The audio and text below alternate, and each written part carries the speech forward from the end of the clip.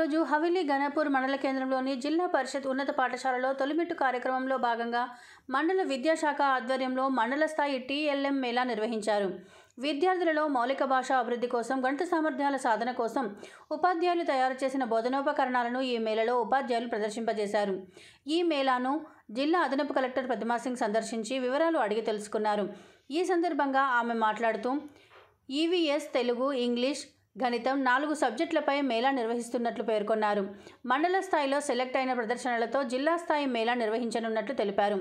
జిల్లా విద్యాశాఖ అధికారి రమేష్ గ్రామ సర్పంచ్ సవితా శ్రీకాంత్ పాఠశాల ప్రధానోపాధ్యాయులు విజయలక్ష్మి వివిధ పాఠశాలల ఉపాధ్యాయులు విద్యార్థులు పాల్గొన్నారు. నమస్కారం. ఈరోజు హవేలీ గన్పూర్ మండలంలో హవేలీ గన్పూర్లో రావడం జరిగింది. ఇక్కడనే మనకి ఈరోజు టీఎల్ఎం మేళా నడుస్తుంది.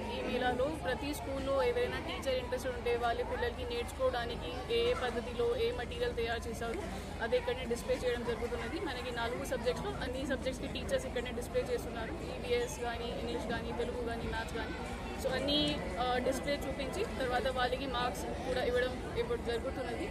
మార్క్స్ దాన్ని బట్టి వాళ్ళు ఎంత ఇన్నోవేటివ్గా ఎంత లో కాస్ట్గా ఏదో పద్ధతిలో పిల్లలకి నేర్చుకుంటున్నారు. అది మొత్తం చూసుకొని ఫోర్ పారామీటర్స్ ప్రకారం వాళ్ళకి కూడా ఇవాల్యుయేషన్ జరుగుతుంది తర్వాత మళ్ళీ మనం డిస్ట్రిక్ట్ లెవెల్లో కూడా పెడతాం. ఇక్కడ నుంచి బెస్ట్ సెలెక్ట్ చేసి అన్ని మండలాల మండలాల నుంచి బెస్ట్ సెలెక్ట్ చేసి డిస్ట్రిక్ట్ లెవెల్లో కూడా పెడతాం.